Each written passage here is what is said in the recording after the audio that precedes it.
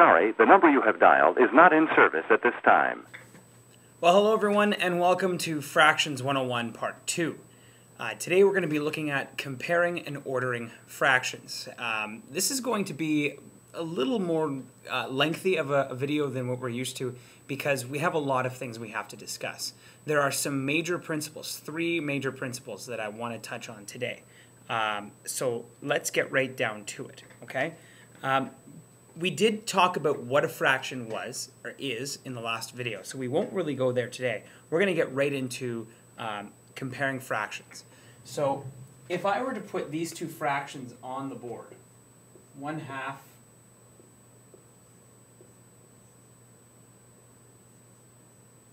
Okay, so we've got 1 half, 2 over 2, and 3 over 2. If I were to ask you, are these fractions in order? What would your answer be?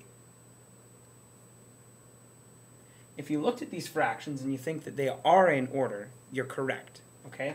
They're in order from the smallest.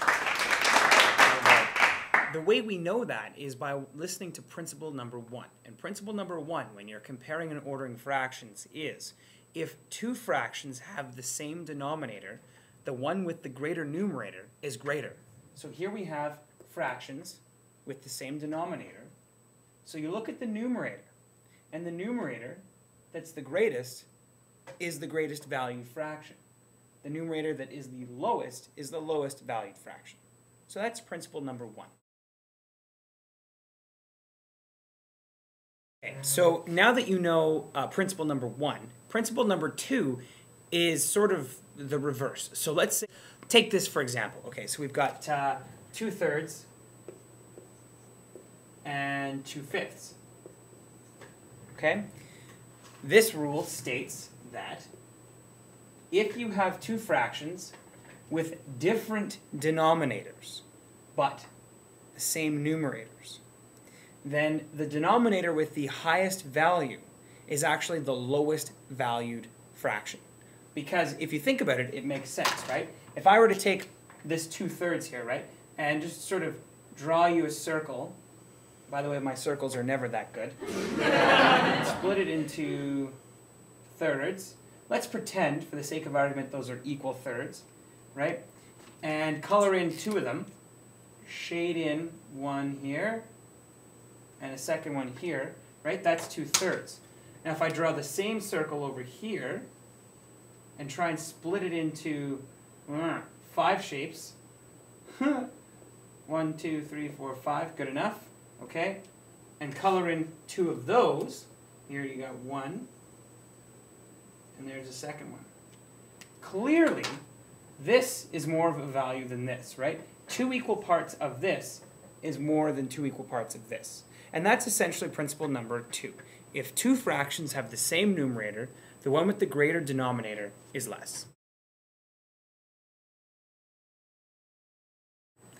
Okay, here comes principle number three.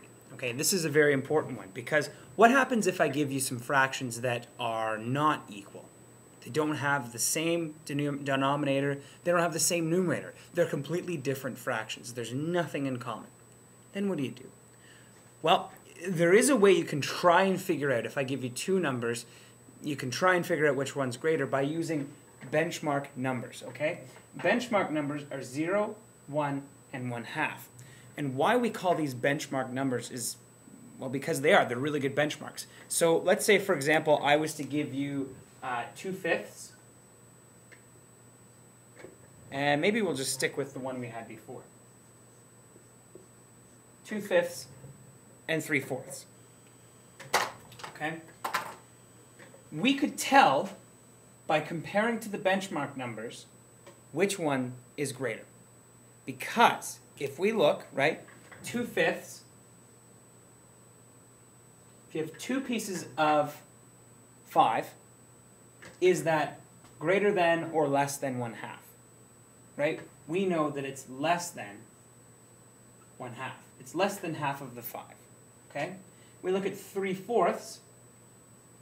Do we know, is that greater than or less than half of the whole? Well, it's actually greater than half of the whole. If you have four equal parts and you're giving three of them obviously that's more than half of the 4. This is obviously less than half of the 4.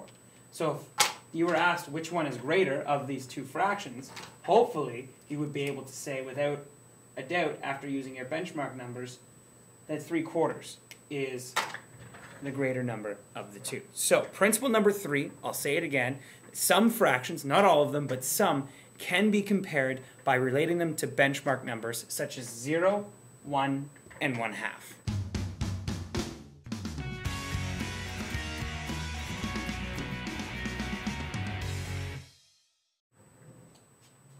Okay, now comes the fourth principle, and this one is the one that you're not going to like, but it's one you're probably going to have to resort to in a lot of situations uh, going through this unit, and it's knowing how to make equivalent fractions. Because if you can take two fractions, find a like denominator, make them equivalent to that like denominator, then it's easy to figure out which one is worth more. But it's that converting of a base fraction to an equivalent fraction of higher value that's a little difficult. You have to find a like denominator. So let's let, let's show you an example. Let's take uh, I don't know four fifths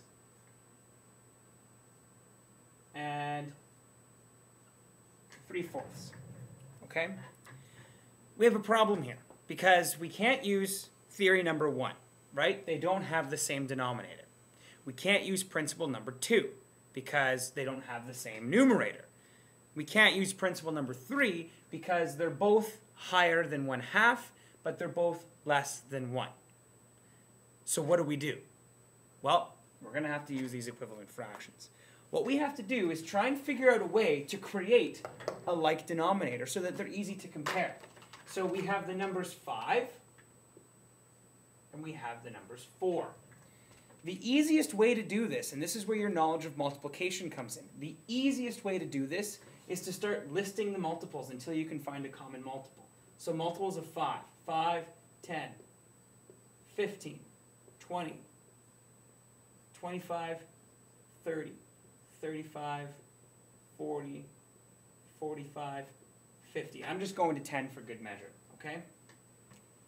For 4, let's go. We got 4, 8, 12, 16, 20, 24, 28, 32, 36, and 40. All right. Now, have we found a number that is the same in these sets? 4, clearly not there. 8, no. 12, no. 16, no. We've got 20. Okay, so there's a possibility here. 24, no. 28, no. 32, no. 36, no.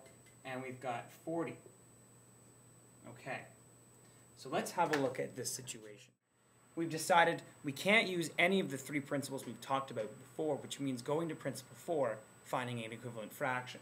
What we decided here is we have to create a list of factors for both of our denominators, 5 and 4. And if we find any like factors, then we know we've got a common denominator that we can use here. And all we have to do is multiply across the fraction. That's what we have to do next. So we've isolated this. We said 20 and 40 are common denominators. Let's work with 20 because it's a smaller number here. It's easy to work with. So what we've decided here is 5. We have to get 5 to 20. Well, how do we do that? 1, 2, 3, well actually 1, 2, 3, 4 times. So clearly 5 times 4 is 20.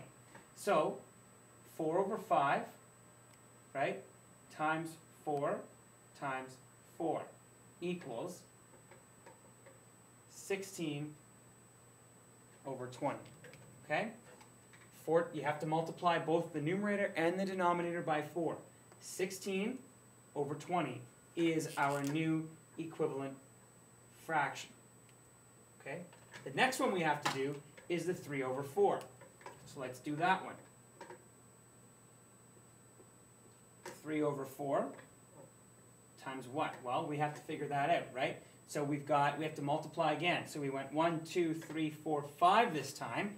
So 4 times 5, 3 times 5. Because we want to get that 20. So there's the 20. 3 times 5 is 15 over 20. Do we now have fractions that we can work with? We've said 4 fifths, an equivalent fraction, is 16 over 20.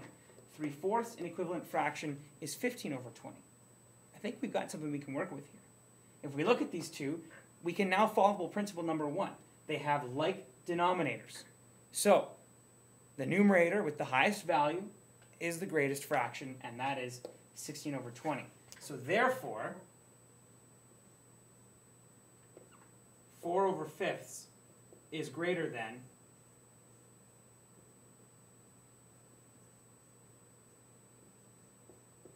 three over four.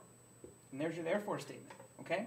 That is, in a nutshell, how to do equivalent fractions. It seems like a daunting, huge task, but when you break it down like this, it's quite easy.